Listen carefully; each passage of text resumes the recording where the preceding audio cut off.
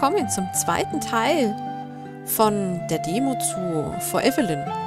Ja, wir gucken mal, wie weit uns die Demo äh, noch bringt, was sie uns noch erzählt.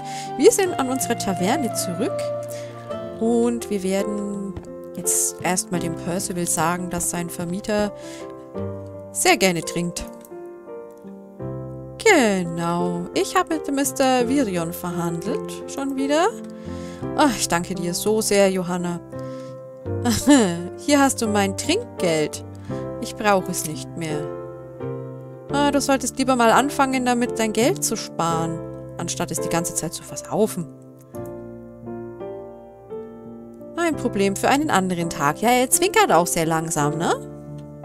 Das passiert mir auch, wenn ich zu viel getrunken Also muss aber schon sehr viel sein. Dann ist man dann so... Oh, wir können ab... Ja gut, dann nehmen wir diesmal Resolve. Nachdem ich keine Ahnung habe, was ich hier tue. So, gibt es denn hier eigentlich noch irgendetwas? So, da haben wir auf alle Fälle wieder Edwin. Willkommen zurück, Liebling. Hast du etwas Schönes für Evelyn gefunden? Ja, habe ich. Ich hoffe, sie mag es. Ich bin mir sicher, das wird sie. Bist du äh, ready für die Party mit den Heiratswilligen? I'm ready. Jawohl. Dann zeig mal her. Oha. Aha, die Heiratsanwärter mögen jetzt ihre Geschenke präsentieren. Ja, wenn das so läuft. So, der hier hat Blümchen. Ach, Lady Evelyn, ich bin Jacob. Bitte akzeptiere diese Rosen. Ich habe sie selbst für dich gepflückt. Hab Dank, mein Lord. Aber Blumen sind mir scheißegal. ich mag Blumen nicht. Oh nein, jetzt ist er traurig, der Jacob. Was hast du? Hallo, my lady. Ich, Anders, habe einen Bären für dich gejagt. Ich habe diese Steaks für dich vorbereitet, dir zu Ehren. Akzeptiert mein sehr seltsames Geschenk. Das heißt nicht humble, aber es ist trotzdem ein sehr seltsames Geschenk. Bitte? Ah, ich esse nicht mal Fleisch, der arme Bär. oh, Mann. So, und du? Demetrius. Demetrius weiß, was die Frauen mögen. Oh, diese Juwelen habe ich selbst aus einer Grabkammer gesammelt. Von den alten Königen in der goldenen Wüste. Sind sie nicht wundervoll? Also bist du also ein Grabräuber. Nein, danke.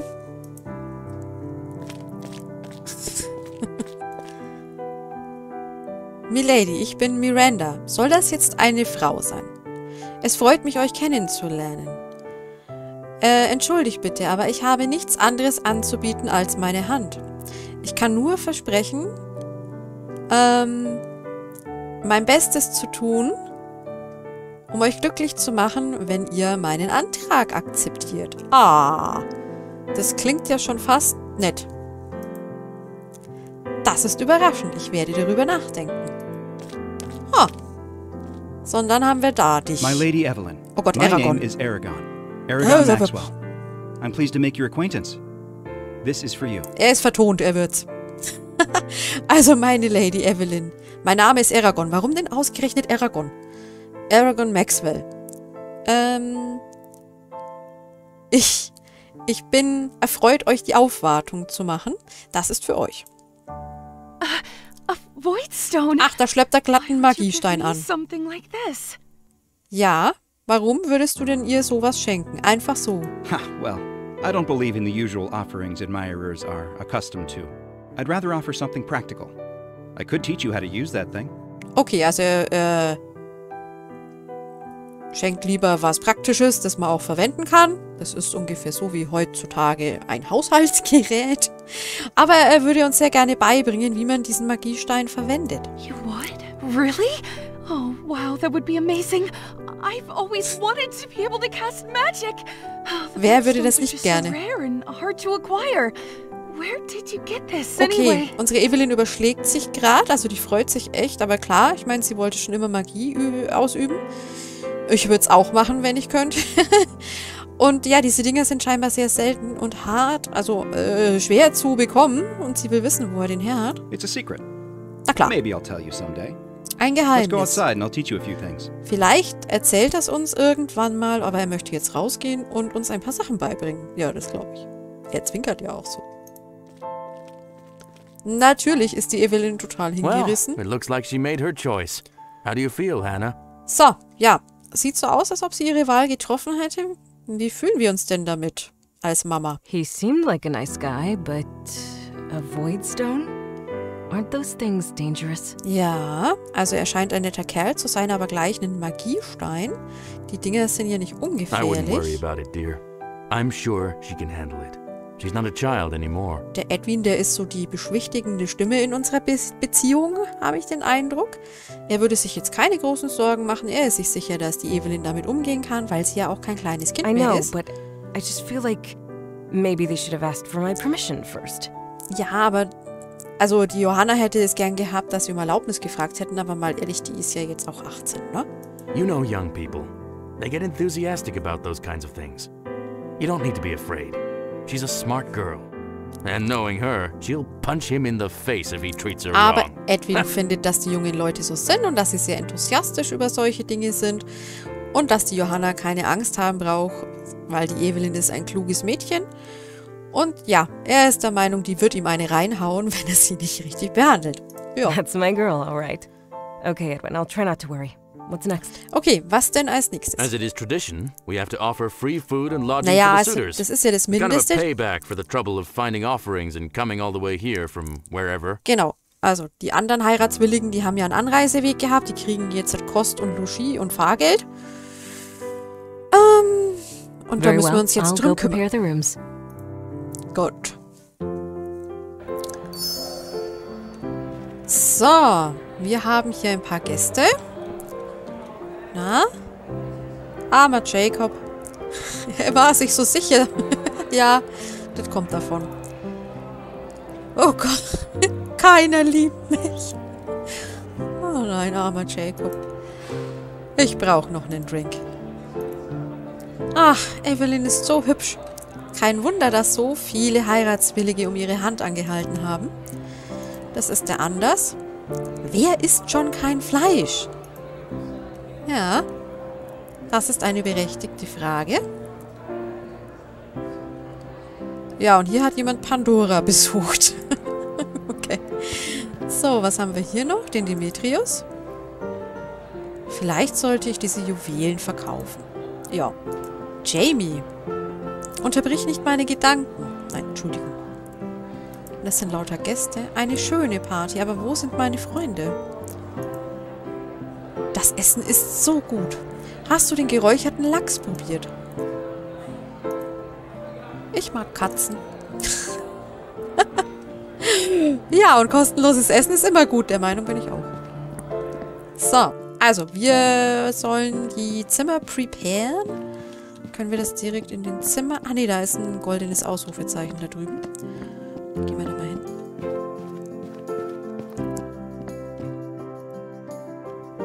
So, frische Betttücher für die Zimmer. Dann machen wir das mal. Ah, es ist... Oh, oh. Das Schwert. Das Schwert. Oh. Oh, oh.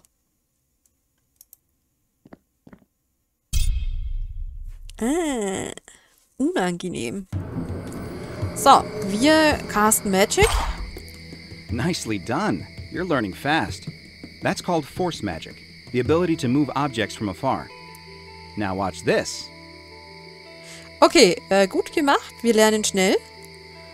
Äh, das ist also die Fähigkeit, Objekte zu bewegen aus der Ferne.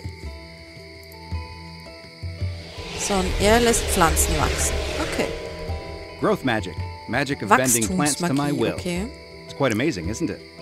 Äh, er zähmt also Pflanzen nach seinem Willen und findet's toll. I've never felt anything like this before.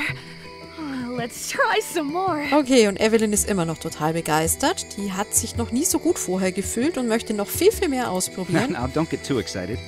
Prolonged use of void stones can cause headaches and nausea, especially for someone as inexperienced as you.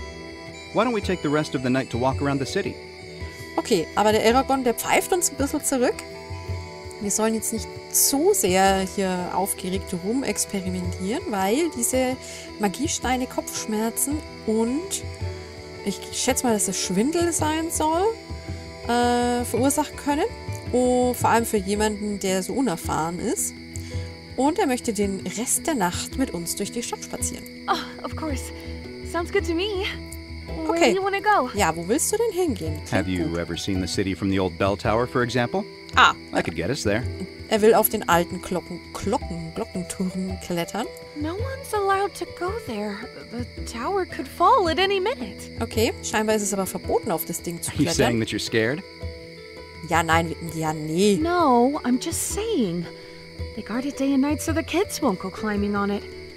How would you get us past the guards? Okay, scheinbar wird der Turm bewacht, Tag und Nacht, und es, ähm, um die Kinder davon abzuhalten, da hochzuklettern. Und sie fragt sich, wie er diese Wachen umgehen will. I have my ways. Ja, das glaube ich. Come on, I'll show you.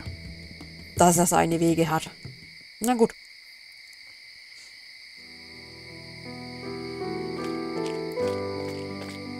Huh. Where are the guards? Die hat er weggesprengt. okay, die Wachen sind I weg. told you I have my ways. Vielleicht hat er sie auch Come on, let's climb to the top. Verzaubert. Umgebracht. Oh. Oh my god. It's it's beautiful.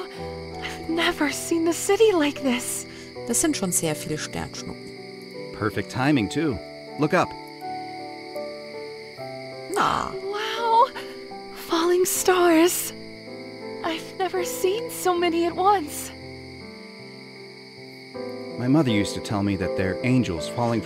Okay, seine Mutter hat ihm immer erzählt, dass das Engel sind, die vom Himmel fallen. Oh, um unter uns Sterblichen zu leben. lying, of course. Ja, They're actually void stones, pieces of rock and metal that burn up when they fall out from the void above. okay.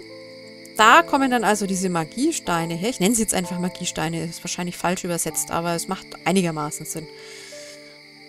Usually, they burn completely to ash before they hit the ground. But sometimes you can find small chunks of void stones that manage to fall all the way down. That's why they're so rare. Also im Normalfall verbrennen diese Sternschnuppen zu Asche, bevor sie den Boden berühren können. Aber manchmal findet man kleine Stücke von diesen Magiesteinen und deswegen sind die auch so selten. How do you know all of this? Ja, woher weißt du denn das My mother alles? was a wise woman. She taught me everything I know. Oh, She's not around anymore. okay. I'm so sorry. I I didn't know. Ja, woher denn auch, Evelyn? It's okay. Let's just enjoy the show while it lasts. This usually happens only once a year. Na, da haben wir aber Glück, dass wir diese eine Nacht im Jahr erwischt haben, wo das passiert.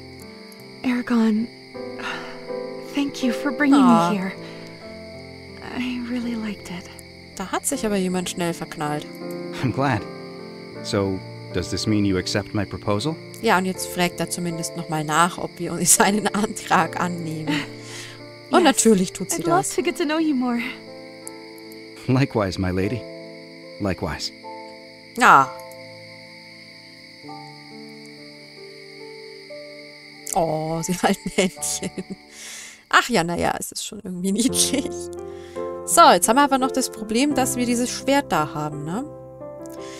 So, außerdem wollen wir der, der Evelyn ja noch den Dolch schenken. Okay, und bevor wir den der Evelyn schenken, sollten wir sicherstellen, dass wir das auch noch beherrschen, um es der Evelyn auch beibringen zu können. Wir haben eine Trainingspuppe im Keller. Da können wir das testen. Okay, Edwin schreibt scheinbar Geschichten. Er erzählt viel von Abenteuern, als er noch jünger war. Ja gut, haben wir unser Schlafzimmer inmitten von den Gästezimmern? Das ist auch irgendwie seltsam. So. Was haben wir denn hier alles rumstehen? Nichts, was wir anklicken können, aber da haben wir eine Trainingspuppe. So.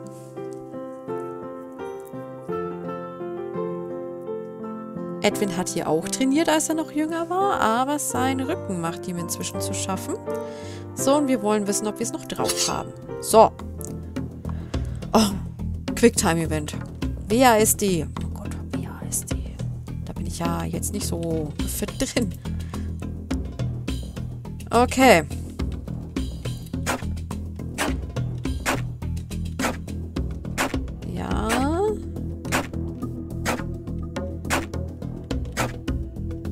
Einigermaßen. Ist jetzt auch nicht so schnell. Ja. Gib's der Puppe. Ja, das ist genug.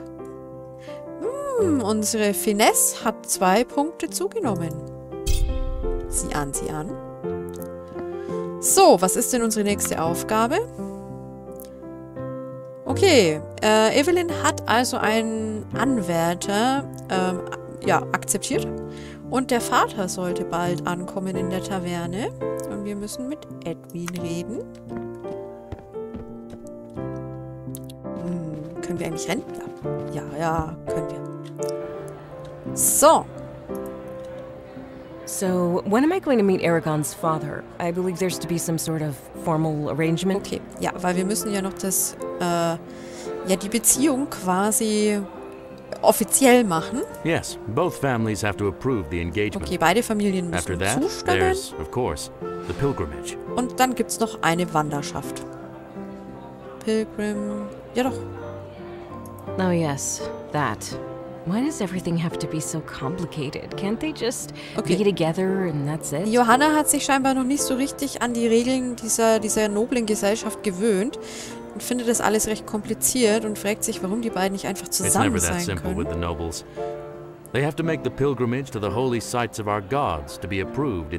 Okay, und die müssen quasi diese heilige Wanderschaft machen, um vor den Göttern, vor den Augen der Götter quasi als Paar zu bestehen. It's the most important journey of their lives, as that will also test their compatibility. Handle being together on Ja, a das stimmt six-month journey? allerdings. If they can, then they're pretty much set for life. Okay, wenn sie nämlich diese sechsmonatige Wanderschaft gemeinsam überstehen, dann wird es auch die Beziehung überstehen, weil ich glaube, da kannst du dir ziemlich auf den Nerv gehen. Of course. What's taking them so long? They should be back by now. It's almost midnight. Okay, es ist fast I'm sure Mitternacht. they'll be here any Aber wir minute. gehen ja auch noch spazieren look. und gucken Sternschnuppen. Aber ich glaube, da kommen wir gerade an. Well, speak of the devils. The younglings decided to finally return. Ja, da sind sie Oh, wieder. uh, sorry. We were looking at the falling stars. There were so many. Genau, wir haben Sternschnuppen Oh, that's so romantic. Hannah, why don't you ever take me out to look at the stars? ja, weil Hannah nicht so romantisch ist. Edwin, don't be silly.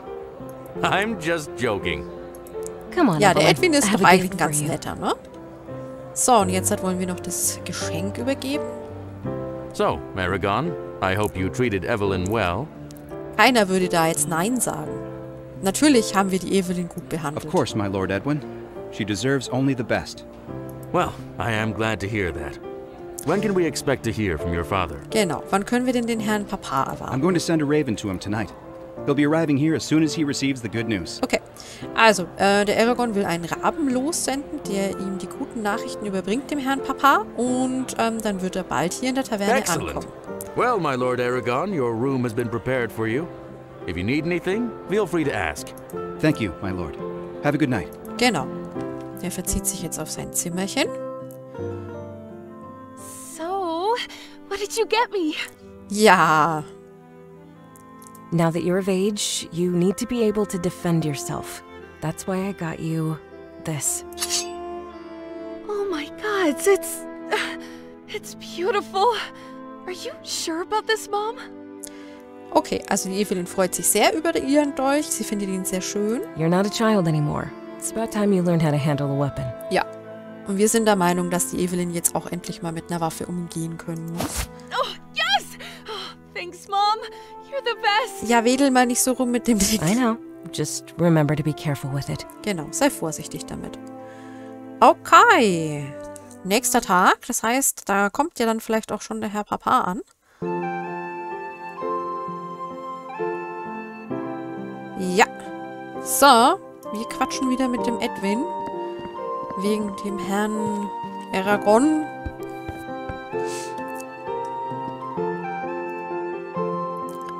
So, der Lord Maxwell kommt heute an. Und äh, ja, wir, wir warten einfach mal hier mit Edwin.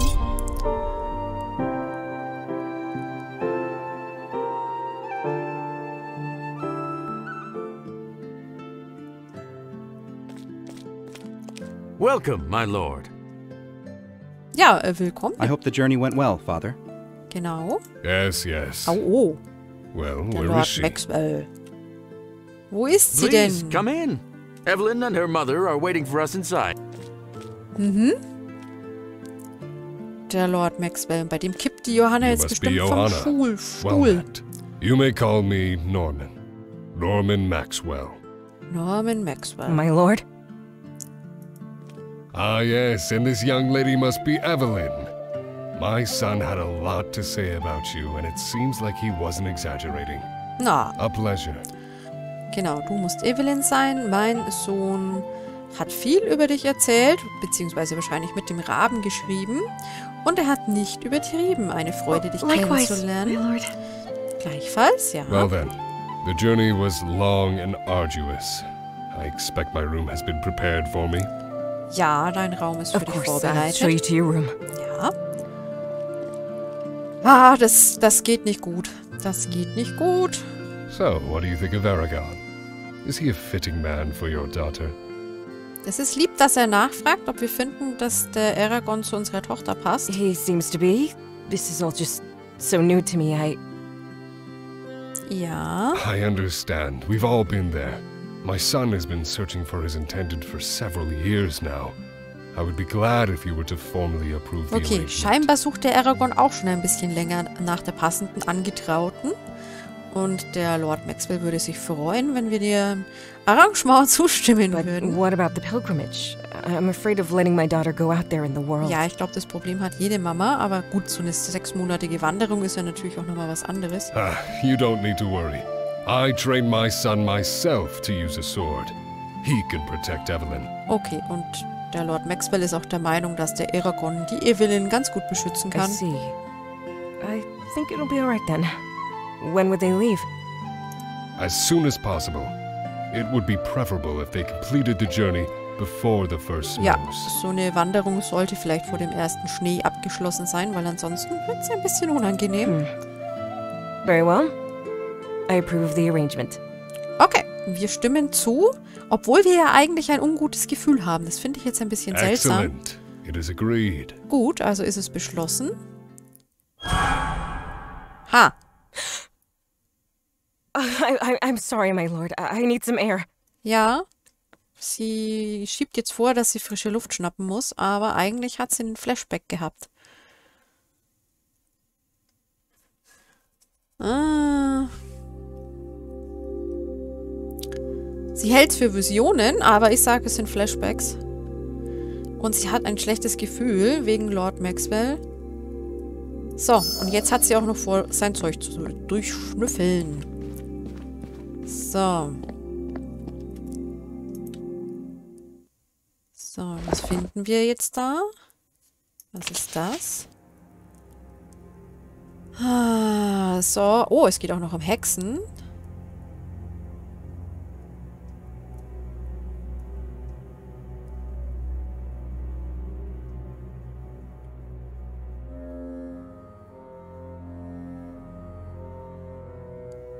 Der rote Baron ist er also. Also ich würde jetzt da persönlich nichts rauslesen können, was darauf hindeutet, dass er das ist, aber sie kann bestimmt was damit anfangen. Oh, oh. Johanna, what are you Genau, doing was here? machst du hier? Schnüffeln ist nämlich nicht schön. Oh, I. My, my lord, I, I was just. What are you looking for? You should know better than to go through a noble's belongings. Ja, man schnüffelt einfach. No, no. I was making sure that the. I, I'm sorry. I. Tell me, why? Ja, und jetzt will er natürlich wissen, wieso. It was you. Ja, What? du warst es. Also ihr wart es. You killed Auron. Ihr habt Oren You gekillt. killed Evelyn's father. What is the meaning of this? What or who are you referring to? Ten years ago, a night at the circus, you came running from the woods with your men. You killed everyone. without warning. So, und jetzt macht sie ihm natürlich die schwerste Vorwürfe, dass er mit seinen Männern das Zirkuscamp überfallen I hat. have absolutely no idea what Er you're stellt talking sich about. ahnungslos und sagt, er hat keinerlei Ahnung, von was sie da I spricht. recognize the armor. I recognize the sword. It had to be you. Aber sie glaubt, die Rüstung und das Schwert eben wieder zu erkennen. Stop this madness. Ten years ago, I was still just a soldier. I wasn't in any position to order an attack like that. Okay, aber vor zehn Jahren, sagt er, war er einfach nur ein einfacher Soldat und gar nicht in der Position, so eine Attacke zu kommandieren. I don't believe you. The engagement is off. Take your son and leave us alone. Und jetzt schmeißt sie die beiden raus und sagt, die Verlobung ist aufgehoben. Na, da wird sich die Evelyn we aber don't have freuen. to do this. We already agreed. Ja, Well, I'm invalidating that agreement. okay, und sie widerruft. You can't. The young ones have already chosen each other. Our agreement is just formal etiquette, a mutual understanding. Nix, take your noble traditions. My daughter isn't marrying the son of a murderer. Ja, aber Johanna will nicht, dass ihre Tochter einen Mörder, also den Sohn eines Mörders heiratet und schon gar nicht den vom eigenen Vater auch noch. Also, I demand a duel. oh, oh, das auch noch. Äh, schlecht. Mother! What in Velo's name has gotten into you? Why are you doing this? So, und jetzt hat die Evelyn natürlich die berechtigte Frage, was denn los ist und warum dieser ganze Zinnober. Stand aside, Evelyn. I have to do this. Aber die Mutter sagt nur, dass sie wegbleiben soll und dass sie das tun muss. You're being overprotective again, aren't you? Stop it, Mom. Just stop it! So, Evelyn glaubt, dass sie mal wieder überbeschützend ist. I'm sorry, little dove. No! I can't believe you. Here! Have your dagger back. I don't want it! Na, und jetzt hat, schmeißt sie uns den Dolch wieder vor die Füße und sie hasst uns, glaube ich, gerade richtig. Going on the pilgrimage with Aragon, and there's nothing you can do to stop it. Goodbye, Mother. Ja, sie geht jetzt natürlich aus Trotz mit Aragorn trotzdem auf die Wanderschaft, weil sie glaubt, sie hat ihre große Liebe gefunden und ja, wir können sie scheinbar nicht aufhalten und sie verabschiedet sich von uns. Ja. Und damit dieses Video nicht zu lang wird, verabschiede ich mich an dieser Stelle von euch. Ich möchte es auch bei diesen zwei Videos belassen zu For Evelyn. Die Demo ist noch nicht ganz rum. Ähm, aber ich denke, ein kleines, süßes Spiel, das man im Auge behalten kann. Vielleicht, wenn man mal zwischendrin irgendwas mit Romantik, Intrigen braucht und ein bisschen auf die Pixeloptik abfährt. Ich fand es jetzt eigentlich ganz schön zu spielen und sag Dankeschön fürs Reinschauen und bis bald.